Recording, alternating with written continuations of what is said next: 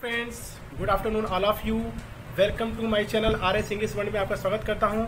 दोस्तों, आज का वीडियो है संजय द ब्रेव बॉय और ये क्लास सेवन के रेनबो इंग्लिश से मैं आपको पढ़ा रहा हूँ। और चैप्टर लेसन नंबर थर्ड है। तो चलिए, आज हम आपको इस चैप्टर के माध्यम से संजय द ब्रेव बॉय यानी संजय एक बहादुर लड़का है। तो चलिए स्टेप बाय स्टेप समझते हैं कैसे हम इंग्लिश को अपने वीकनेस को कैसे दूर कर सकते हैं ठीक है? तो चलिए। Sanjay was a student of class seven आप संजय की जगह पे अपना में ना, नाम रख सकते हैं। अगर कि, किसी भी चीज़ को समझना है तो सबसे पहले हमें खुद को वहाँ पर रखना होगा। तभी मैं अपने आप को एक सहज रूप से एक्सप्लेन करने में आसान रहेगा, ठीक है?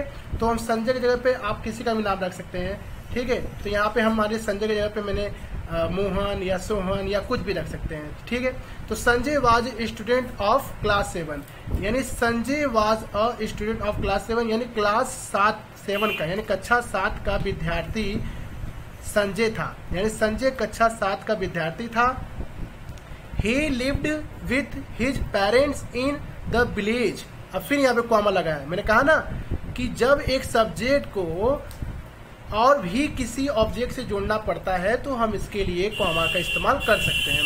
तो यहाँ पे फिर एक कॉमा दिया है, यानी सिर्फ़ अभी इसके आगे और कहा गया है, यानी विलेज है तो शांतिपुर, यानी शांतिपुर विलेज में, यानी he lived with his parents in the village Shantipur. यानी वह अपने माता पिता के साथ शांतिपुर गाँव में रहता था। समझ में आया आपको? He had lost one of his legs in an accident. कितना अच्छा है। He had, यानी उसने खो चुका, यानी उसने खो दिया। देखिए, कभी भी जब भी टेंस में चुका है, चुकी थी, अगर ऐसी चीज़ें होते हैं मेरे दोस्तों तो टेंस केवल कुछ स्तर तक समझने के लिए सिर्फ़ दिया जाता है। और इंग्लिश के लिए हमें सिचुएशन एक्सप्रेशन और कंडीशन को जैसे होते हैं ना इंग्लिश अंग्रेज़ लोग जैसे बोलते हैं, वैसे बोलने के लिए हमें क्या है, सिर्फ़ सिचुएशन को देख करके उसे बोलना है, सिर्फ़ सिचुएशन को देख करके, ठीक है? तो he had lost one of his legs in an accident यानी उसने अपना एक पैर एक्सीडेंट में खो दिया था। समझ में आया? He always felt that every one looked at his legs and laugh at the way he work कितना अच्छा बोला है। वह हमेशा यानी वो सदैव फेल्ट यानी महसूस करता था that every one looked at his leg जो सभी लोग उसके पैरों को देखते थे हँसते थे और जब वो चलता था रास्तों पर तो बार बार हँसते थे और उसको चिढ़ाते थे तो वो इस सबको देखते हुए उसको बुरा महसूस होता था ठीक है? सो so, इसलिए he always tried to avoid people वो हमेशा ट्राइड मतलब जब ट्राई मतलब कोशिश करना ट्राइड मतलब कोशिश किया यानी वो हमेशा उन लोगों से बचने के लिए कोशिश किया करता था, ठीक है?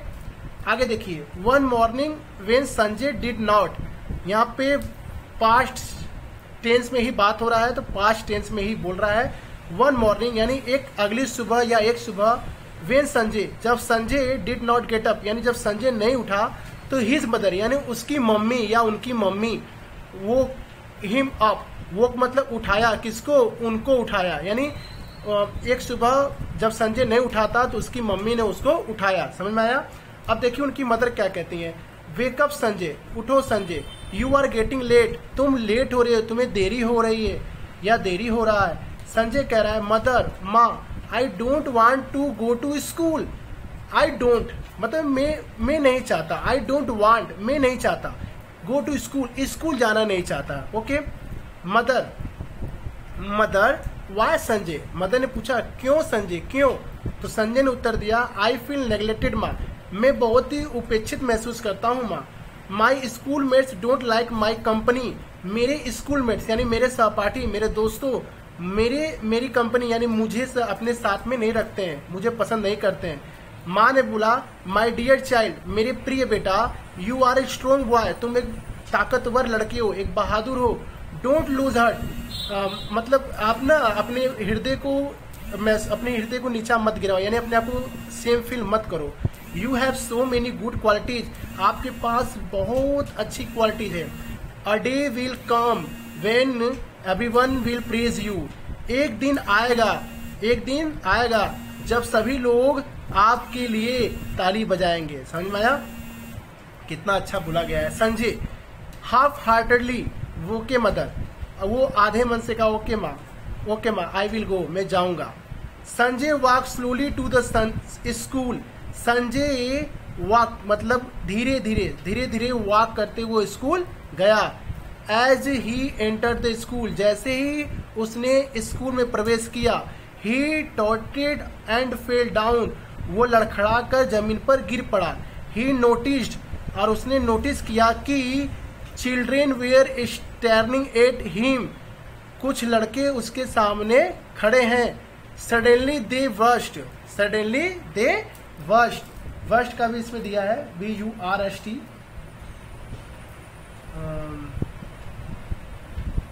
चलिए अच्छा ठीक है।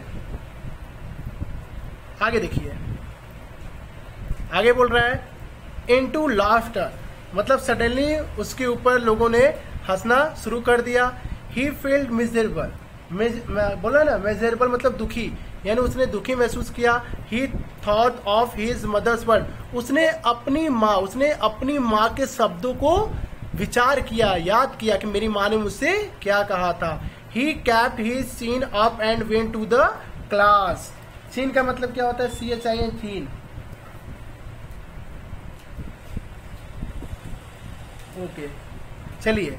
He kept he chin up and went to the class उसने अपने आप को ठंडा रखा, अपने आप को धैर्य रखा, फिर वो ऊपर गया, फिर वो क्लास में प्रवेश किया।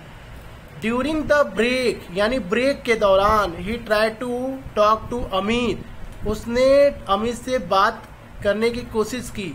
हु सेट बिसाइड हिम जो उसके बगल में बैठा था। Your watch is very nice Amit तुम तुम, तुम्हारा योर वॉच है, तुम्हारी दृष्टि बहुत ही अच्छा है अमित, यानी तुम्हारा आँखें बहुत अच्छा है अमित।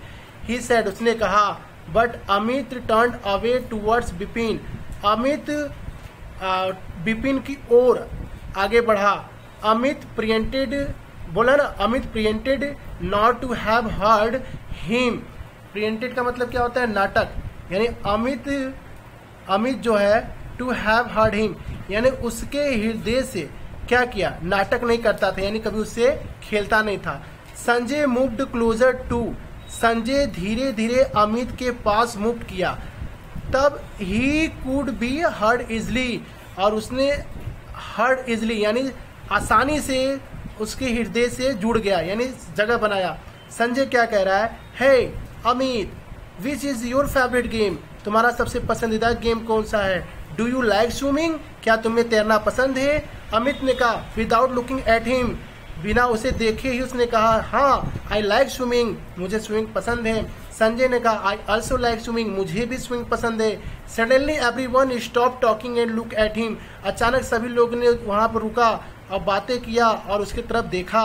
अरुण ने कहा इन डिस बिलीव मुझे विश्वास नहीं हो सकता और विश्वास लग रहा है. Do you know how to swim तुम जानते हो कैसे तैरते हैं?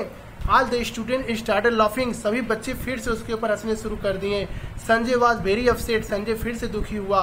When he reached home that day जब वो उस दिन अपने घर पहुँचा था तो एट वंस उसी समय उसकी माँ ने came to know that something went wrong क्या तुम्हें जान, उसकी माँ ने आकर उसे बताया, तुम जानते हो कुछ तुम्हारे साथ गलत हो रहा है?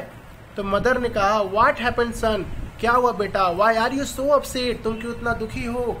संजय ने कहा I will never to go to school again फिर से उसने कहा, मैं दोबारा स्कूल नहीं जाऊँगा।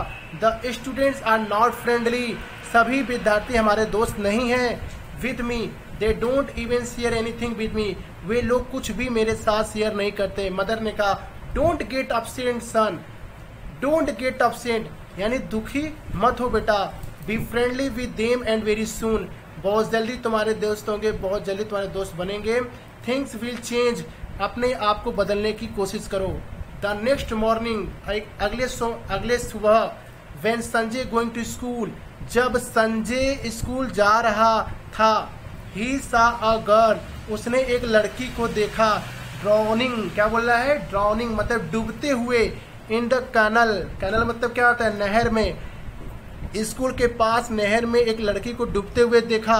He immediately offered his crutch to the girl उसने तुरंत ही हिज क्रश हिज क्रश मतलब बैसाखी, अपने बैसाखी से उस लड़की को बचाया।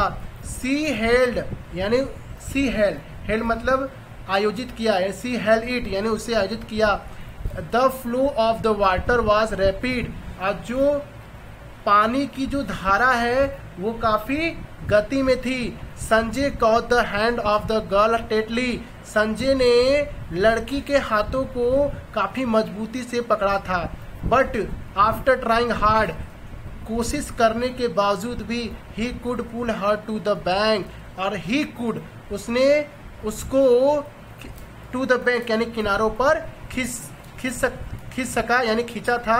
Sanjay was astonished when he saw, the face to the girl, he rescued.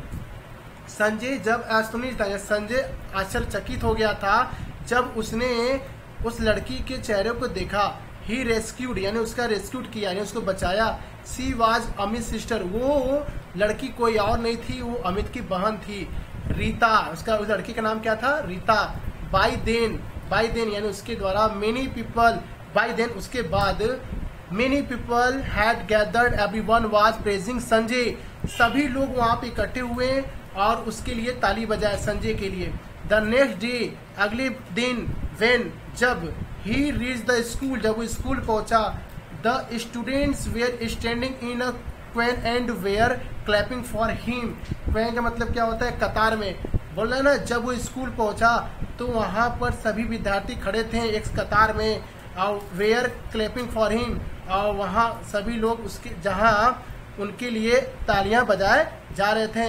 Every student wanted to talk and shake hands with him meanwhile यानी मीन वाइल मतलब इस दौरान, क्या बोल रहे हैं? सभी विद्यार्थी उससे बात करना चाहते थे, हाथे मिलाना चाहते थे। और इस दौरान Amit came to him and said Amit उनके पास आया और कहा, देखिए, यहाँ पर जो आप देख रहे हैं वेन मतलब आप लोग जानते कब है वेर मतलब था है, वेर मतलब था है तो इसका यहाँ पे ये यूज़ होता है बेटा कि दोस्तों, इसमें क्या होता है कि जब किसी भी सब्जेक्ट के बारे में किसी भी दूसरे सेंटेंस से जोड़कर बताया जाता है तो हमें ये कनेक्टर का काम क्या करता है? क्या करता है? कनेक्टर का काम करता है, ये जोड़ने का काम करता है, ठीक है? इसको भी हम वीडियो में समझाएँगे बहुत अच्छे से। आई होप कि आपको ये वीडियो समझ में आएँगे ओके तो इस वीडियो को पूरे फोकस देखिए, पूरे मन से देखिए। आगे देखिए। अमित ने कहा I am sorry please forgive me forgive me बोला ना forgive me for my misbehaviour I am sorry मुझे माफ़ करो प्लीज़ मुझे क्षमा कर दीजिए मेरी इस बुरे व्यवहार के लिए. संजय ने कहा इट्स ओके कोई बात नहीं यू आर माई फ्रेंड तुम मेरे दोस्त हो डोंट फील सॉरी तुम माफ़ी मत मांगो माफ़ी मांगने महसूस मत करो।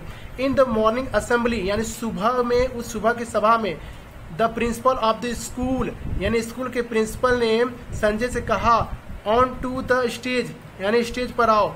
Sanjay stepped forward confidently on to the stage to accept the bravely award वाह, कितना अच्छा। ये एक मोटिवेशन भी है मेरे दोस्तों। मोटिवेशन भी होता है। मैंने कहा ना, बात करके देखिए।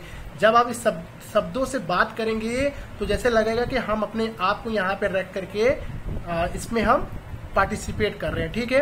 तो इसी तरह से पढ़ाई ऐसे ही की जाती है। देखिए, जब भी मैं पढ़ता हूँ तो मैं इसी तरह से पढ़ता हूँ कि मैं मैं सामने से, सामने वाले सब्जेक्ट से बात करता हूँ। क्या वो मुझसे बात करना चाहता है कि नहीं? वो तभी करना चाहता है जब आप उससे जुड़ेंगे, ठीक है?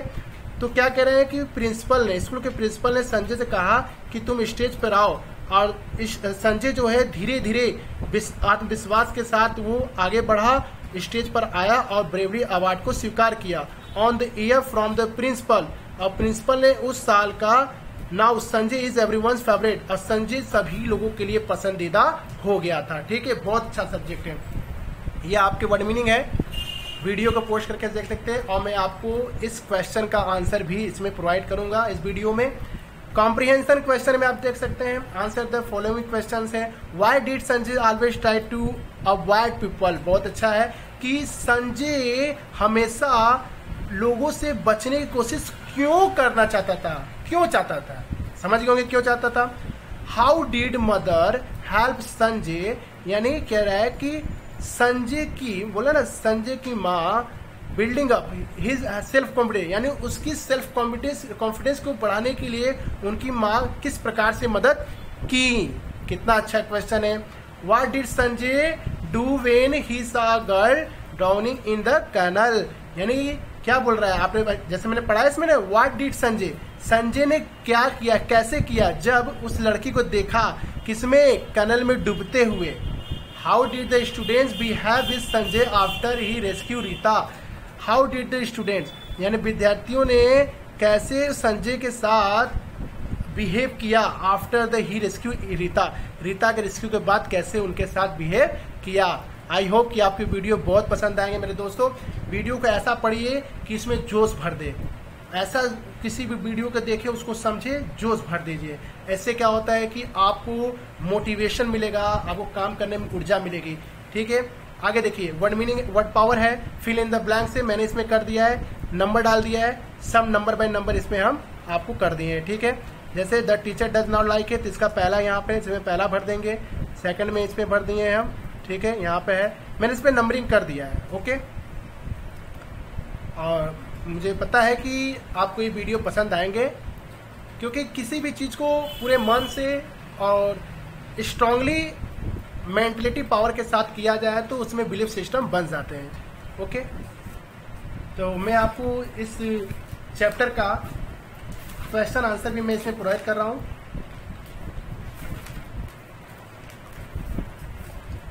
देख सकते हैं लेसन नंबर थर्ड है, संजय द ब्रेव बॉय। आप वीडियो को पोस्ट करके आप लिख सकते हैं, समझ सकते हैं।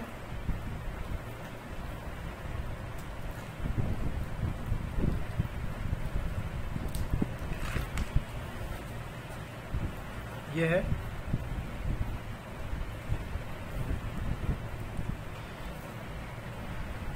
और ये वर्ड मीनिंग है, जो भी इस चैप्टर से रिलेटेड वर्ड आपको उसमें नहीं मिले होंगे तो इसमें भी आपको मिल जाएँगे, क्योंकि मैंने पूरी तरीके से फाइंड आउट कर लिया है कि कौन कौन सा आपको सेंटेंस कौन कौन सा वर्ड इसमें नहीं मिले होंगे, ठीक है? तो आप इस वीडियो को पोस्ट करके आप आसानी से देख सकते हैं।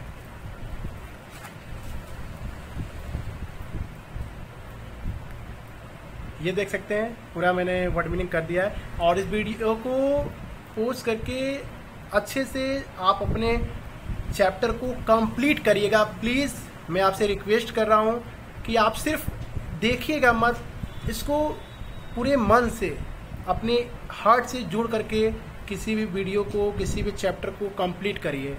क्योंकि स्कूल और ऑनलाइन ये दोनों में आज डिफरेंस तो है। लेकिन अगर हमारे अंदर वो सोच रहेगी तो हम स्कूल को भी अपने घर में ला सकते हैं। आइए, ट्रांसलेशन है, जो मैंने आपको बताया।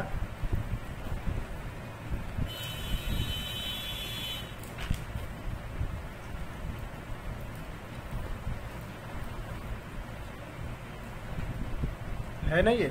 आप इसको कर सकते हैं।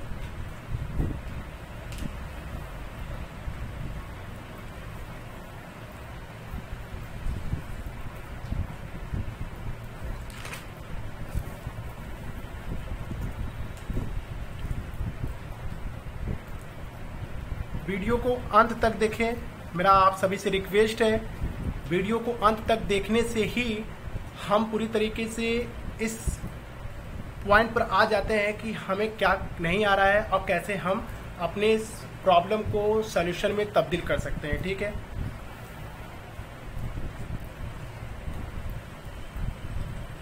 दोस्तों, वीडियो को लाइक करिए शेयर करिए सब्सक्राइब करिए सब्सक्राइब करते हुए जो बे, बेल आइकन मिलेंगे उस पर आप क्लिक करके आप वीडियो को नेक्स्ट वीडियो देखने के लिए आप हमारे चैनल को सब्सक्राइब करिए। Okay?